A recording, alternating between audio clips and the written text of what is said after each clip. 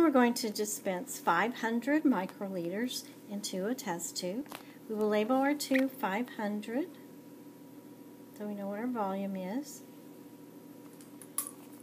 Using our large gray MLA pipette, we will depress it into the tray to attach the tip.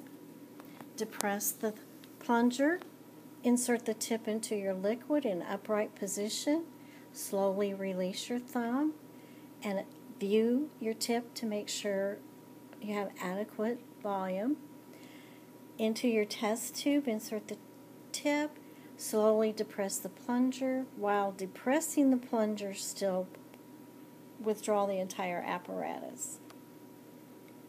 Now we're going to dispense 100 microliters into another tube. So we will label that tube 100. You always start writing from the opening of the test tube in downward motion, the same way we label our specimens.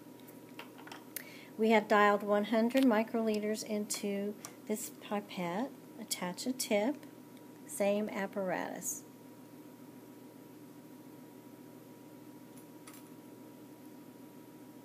While depressed, withdraw and eject.